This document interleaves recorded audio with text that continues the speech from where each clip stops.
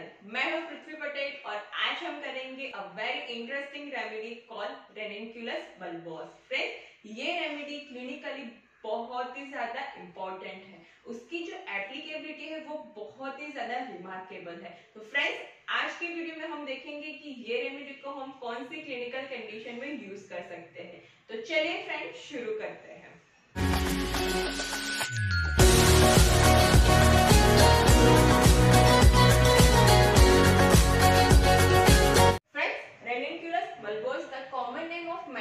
Is a beta cat and the family is Ranunculaceae. Friends उसका जो mother tincture prepare होता है, वो है प्रिपेयर होता है बेटर कैट से फ्रेंड्स उसकी कॉमन प्रॉपर्टी है, वो है इरिटेटिंग फ्रेंड्स इसका जो मदर टिंचर है, उसको एक्सटर्नली स्किन पे हम जब अप्लाई करते हैं तो बहुत ही ज़्यादा स्किन को इरिटेट करता है और it causing a vesicular type of eruption it causes herpes, pemphigus and even up to the extent to flat ulcer तो फ्रेंड्स इसकी जो प्रॉपर्टी है, वो आपको याद रखनी है, जिससे हमको इजी हो जाएगी कि उसकी सिम्टम्स रिमेम्बर करने के लिए।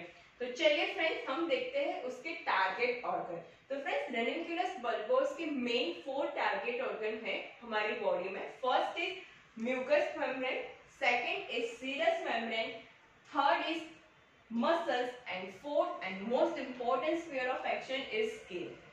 तो mucous membrane serous membrane muscles and skin ये मेन फोर टारगेट ऑर्गन है जिसको हम स्टार्ट करते हैं म्यूकस मेम्ब्रेन फ्रेंड्स जैसे मैंने आपको बताया कि उसकी कॉमन प्रॉपर्टी है वो है इरिटेटिंग तो irritate the mucous membrane of the eyes and nose and it causing a burning or smarting pain.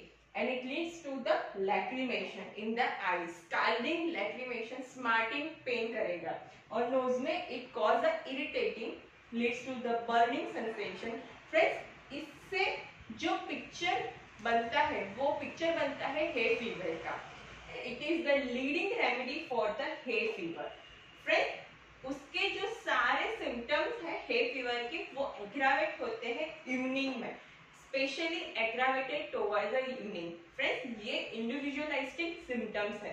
ये इंडिविजुअलिस्टिक मोडालिटी है. तो आपको याद रखना है. Next is sensation of the pressure at the root of the nose friends इस same symptoms एक और मेडिसिन में देखने को मिलता है. वो है स्टिक्टा पलोनारिस उसमें भी the pressure is felt on the root of the nose. Next is tickling and the crawling sensation होगा posterior nares of the nose में. It is extending to the posterior nares and desire to scratch that affected part इसकी similar medicine है Euphrasia Allium cepa arsenic and Sticta ये सारी leading remedy है for the hay fever तो चलिए friends हम differentiate करते हैं फटाफट की ये रेमेडी को हम कैसे डिफ्रेंशिएट कर सकेंगे. तो फ़र्स्ट चीज़ हम देखते हैं Allium cepa friends Allium cepa का हे फीवर कैसा होगा? What are the symptoms of hay fever in Allium cepa तो लैक्रिमेशन होगा डिस्चार्ज फ्रॉम द नोज़ होगा बट जो डिस्चार्ज फ्रॉम नोज़ है, वो बहुत ही ज़्यादा एक्रीड होगा। और the bland discharge from the eyes exact opposite होगा यूफ्रेशिया में। यूफ्रेशिया में एक्रिड डिस्चार्ज होगा from the eye and bland discharge होगा फ्रॉम द नोज़ तो ये ऑपोजिट है। नेक्स्ट इज़ एलियम सिपा में बहुत ही ज़्यादा इंपॉर्टेंट कि symptom which are all aggravating towards the evening and aggravated from the warm room ये आपको याद रखना है। And better in the open air in the Allium cepa friends Allium cepa में एक और पिक्यूलर सिम्टम मिलता है, वो है sneezing when entering into the warm room right ये पिक्चर बनाता है एलियम सेपा का। नेक्स्ट इज़ यूफ्रेशिया यूफ्रेशिया में मैंने आपको बताया exact opposite to allium friends और इवन यूफ्रेशिया में भी जो सिम्टम्स है हे फीवर के, वो एग्रावेटेड टुवर्ड्स द इवनिंग तीनों मेडिसिन में जो हे फीवर के सिम्टम्स होते हैं which is aggravated towards the evening वो आपको याद रखना बट फ्रेंड्स यूफ्रेशिया में अगेन एक aggravated from the warm and better in the cold तो ये पिक्चर बनाता है यूफ्रेशिया का। Next is arsenic friends arsenic is a leading remedy for the hay fever क्या सिम्टम्स हो गए आर्सेनिक के? तो आर्सेनिक में जो डिस्चार्ज है, वो बहुत ही ज़्यादा एक्रिड और एक्सकोरिएटिंग और क्लियर वाटरी डिस्चार्ज होगा और सिवियर बर्निंग पेन होगा आर्सेनिक में। Better for hot application and most important continuous sneezing without the relief and which is aggravated in the morning that is the picture of arsenic of hay fever right again sticta is very similar heavily to the ranunculus bulbous in the picture of hay fever तो क्या symptom again मैंने आपको बताया कि common symptom है sensation of a pressure in the root of the nose which is very important for the symptom और friend इसमें ऐसा सिम्टम्स है जो बहुत ही ज़्यादा पिक्यूआर है। Catarrhal headache which are appear before the discharge come ये बहुत ज़्यादा इंपॉर्टेंट पेशेंट कहेगा, सबसे जब भी हम पूछेंगे कि आपको कंप्लेन कैसे स्टार्ट हुई, क्या होगा फ़र्स्ट आपको? देन आप बताइए मुझे। तो वो पेशेंट बोलेगा कि, मुझे सबसे पहला कैटारल हेडेक स्टार्ट हुआ देन डिस्चार्ज स्टार्ट हुआ। The remedy is Sticta next peculiar symptom for Sticta is patient is continuous blowing the nose but there is a no discharges and patient is so much so sensitive to changes of the weather it is aggravated when sudden change in the condition में अगर आपको ये दो PQR symptoms मिलते हैं what Catarrhal headache appear before the discharges and patient is continuous blowing but there is a no discharge. उस case में हम स्टिक्टा प्रिस्क्राइब कर सकते फ्रेंड्स इसकी जो बहुत ही ज़्यादा मार्क एफिनिटी है, वो है सीरस मेम्ब्रेन वो क्या करेगा? It causing inflammation leads to the effusion serous effusion करेगा स्पेशली इन द प्लूरा और पेरिटोनियम क्या सिम्टम्स हो गए individualistic symptom it causing a pleurisy and pleurodynia friends एक वर्ड है प्लूरोडेनिया उसका मीनिंग क्या होता है? Pleurodynia what is the meaning of pleurodynia friends even आप स्टूडेंट हो तो एग्ज़ाम में भी पूछा जाता है कि what is the meaning of pleurodynia तो आपको पता होना चाहिए कि it nothing but the intercostal neuralgia जो इंटरकोस्टल मसल्स है, उसमें पेन होता है। That is the pleurodynia right it's pain बहुत ही ज़्यादा कैरेक्टरिस्टिक पेन है। क्या है pain acute stabbing stitching and shooting type of pain is felt over the chest and patient sensation as if a pressure or tightness across the chest friends ये symptoms क्यों आए because pleurisy में ये common symptoms है patient को ही ज़्यादा tightness और pressure वाली फीलिंग आएगी राइट और it aggravated when moving talking और स्टूपिंग और टेकिंग अ डीप इंस्पिरेशन तब ये पेन सारे एग्रावेट होंगे। Next is adhesion which is left after the pneumonia और प्लूरेसी फ्रेंड्स बहुत सारे पेशेंट हैं जिसको न्यूमोनिया हुआ एलोपैथिक मेडिसिन ली। इफ्यूजन तो चला गया। बट एडहेशन जो बाकी रह जाते हैं in the membranes of pleura तो उस केस में पेशेंट को क्या होगा? पता है पेशेंट की कंप्लेन क्या होगी? उसमें होगा पेशेंट बोलेगा, जब भी मैं डीप इंस्पिरेशन करता हूँ डीप ब्रीथ लेता हूँ तो मुझे पेन होता है चेस्ट में.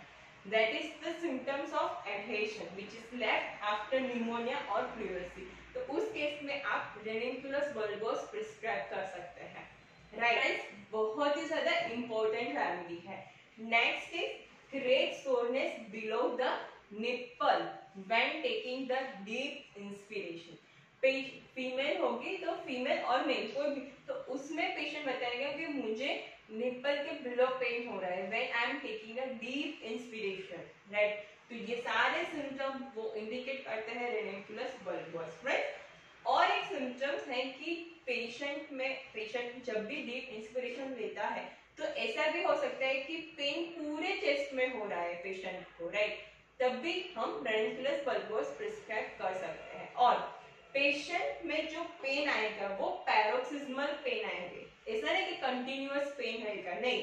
पैरोक्सिज्म में पेन आएँगे। और patient is very much sensitive to exposure to cold air patient is very much sensitive to sudden change in the atmospheric weather ये भी बहुत ज़्यादा इंपॉर्टेंट है। और ये सारे सिम्टम्स आएँगे ailments from exposure to cold air तो फ्रेंड्स आपको ये कॉजेशन याद रखना है और ये सारे सिम्टम्स अगर आपको पेशेंट में मिले तो आप रेनेंकुलस बल्बस प्रिस्क्राइब कर सकते हैं। इन केस ऑफ़ हाइड्रोथोरेक्स और प्लूरसी राइट और फ्रेंड्स इवन डॉक्टर क्लार्क बताते हैं even he prescribed this remedy in the case of diaphragmitis friends what is a diaphragmitis is the inflammation of diaphragm but ये सारे symptoms मिलते थे patient पे patient जब भी deep inspiration करता था उसको pain होता था और pain which is aggravated from stooping talking coughing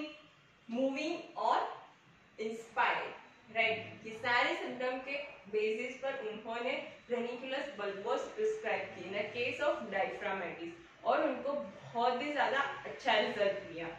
तो फ्रेंड्स आपको ये सारे इंडिविजुअलिस्टिक सिम्टम्स मैच करने हैं पेशेंट की कंप्लेन से राइट right. उसकी जो हम मोडालिटी देखते हैं कि उसकी जो मोडालिटी है पेशेंट इज़ एग्रेप्टेड फ्रॉम मैंने जैसे आपको बताया कि sudden change in the atmosphere exposure to cold air from touch patient is very much sensitive to touch right इसकी जो सिमिलर मेडिसिन है, वो है एपिस और Bryonia friends Bryonia in a case of pleurisy, is very much leading remedy. तो उसके symptoms क्या हो गए? तो अगेन ब्रायोनिया में जो म्यूकस मेम्ब्रेन है, वो टोटली ड्राई हो गए राइट पेशेंट को सेम जैसे रेनिकुलस बल्बोस में है स्टीचिंग टाइप ऑफ़ पेन होगा ब्रायोनिया के केस में. और क्या होगा ब्रायोनिया के केस में? Patient when coughing it hold the chest जब भी पेशेंट खांसी और कफ खाएगा तो वो चेस्ट को पकड़ लेगा। ऐसा क्यों हो रहा है? Because the Bryonia patient is very much aggravated from slightest motion और बेटर फ्रॉम प्रेशर फ्रेंड्स और एक मोडालिटी बहुत ही ज़्यादा मार के जब भी ब्रायोनिया का केस होगा तो पेशेंट जब सोएगा तो patient which is lying on the painful side it gives the relief to the patient ये आपको नोट करना है। और एक कैरेक्टरिस्टिक सिम्टम ब्रायोनिया का केस होगा। Bryonia has the specific affinity for the right side ऐसा नहीं कि हम उसको लेफ़्ट साइड नहीं यूज़ कर सकते। बट टिपिकल जो ब्रायोनिया का केस होगा, वो कंप्लेन होगी राइट साइड में। Right aggravated from warm and better from the cold and patient has a great thirst for the large quantity of water cold especially the cold water ऐसे सारे जो characteristic symptoms आपको मिलेंगे तो it indicates the Bryonia and very similar Apis friends Apis में क्या होगा? तो Apis is use for the dropsy condition के लिए यूज़ होगी. फ्रेंड्स उसकी जो सीरस मेम्ब्रेन में बहुत ही ज़्यादा मार्क एफिनिटी है. इट कॉज द प्लूरसी और हाइड्रोथोरेक्स तो उसमें पेशेंट को डिफिकल्टी इन ब्रीदिंग होगी। तो पेशेंट को ऐसा लगेगा जो मैं ब्रीथ कर रहा हूँ, वो लास्ट ब्रीथ होगी। It is a very much individualistic symptom for Apis right ये बहुत ज़्यादा इंपॉर्टेंट है। और क्या मिलेगा आपको एपिस में? Patient is very much sensitive to touch और हीट इतना ज़्यादा सेंसिटिव है हीट से। Better from the cold thirstlessness is very mark in Apis right next is Apis में अगर आपको swelling of swelling of the eyelid specially the lower eyelid में आपको स्वेलिंग मिलेगा। तो ये केस है एपिस का। तो फ्रेंड्स आपको पता चला कैसे हम मेडिसिन को डिफरेंशिएट कर सकेंगे according to the individualistic next is muscles friends इसकी बहुत ही ज़्यादा मार्क एफिनिटी है फॉर द मसल्स और it cause a rheumatism but friends क्या वॉट इज़ द इंडिविजुअलिस्टिक तो फ्रेंड्स ये एक्ट करता है specially the muscles of the trunk muscles of the chest पे ही ये specially affinity for the muscles of the trunk it cause the rheumatism it cause the pain and it produce the intercostal neuralgia intercostal myalgia right yes and the whole area is feels like a bruise किसी ने जो किसी ने अगर पीटा है, आपको कैसा दर्द होगा? Right right? इस तरह का ब्रूइज सोरनेस फीलिंग होगा इन चेस्ट राइट और even this remedy is use for the costochondritis right friends costochondritis क्या है? तो it is the inflammation of the cartilage especially in the chest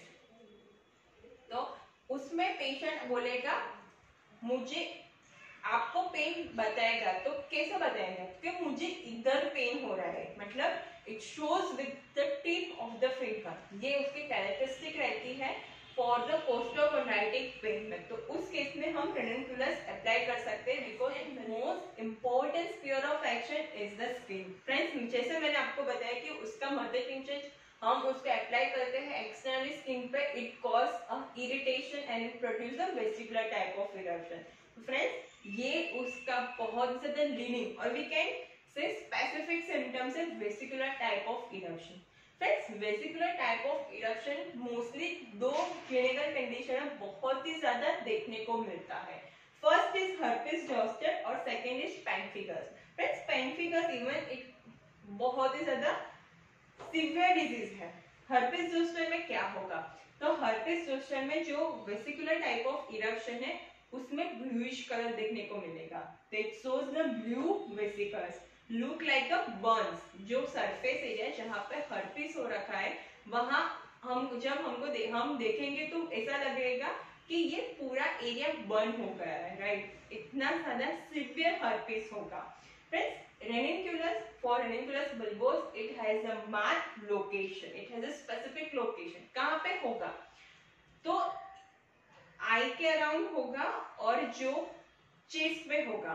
और specially in the course of the nerve जैसे आपको पता है कि herpes occur in the course of the nerve जहाँ पे से नर्व पास हो रखी है, वहाँ पे वेसिकुलर टाइप ऑफ़ इरप्शन हो गया specially for the chest and eye friends eye का हर्पिस बहुत ही ज़्यादा डेंजरस है even it cause the blindness right तो उस केस में आप अगर रेडिकुलस बल्बस प्रिस्क्राइब करेंगे तो हम उसकी विजन को डेफिनेटली बचा सकते हैं right next is it aggravated from touch जैसे मैंने आपको बताया कि patient is so much so sensitive to touch और cold air in all the complaints right next is pemphigus friends pemphigus बहुत ज़्यादा सिवियर डिज़ीज़ है देन हर्पिस जोस्टर उसमें जो वेसिकुलर होता है वो बहुत ही ज़्यादा लार्ज वेसिकल्स होते हैं.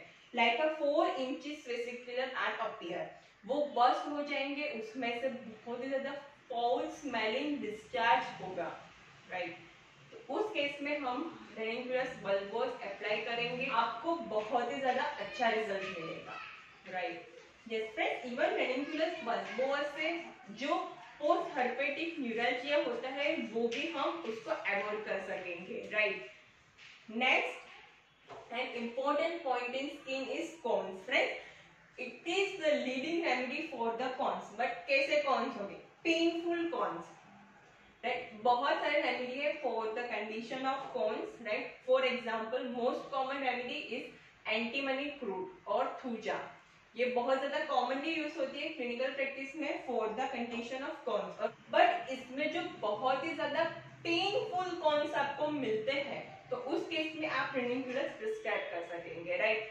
फ्रेंड्स ये बहुत ज़्यादा मार्क सिम्टम है कीनोट सिम्टम्स है।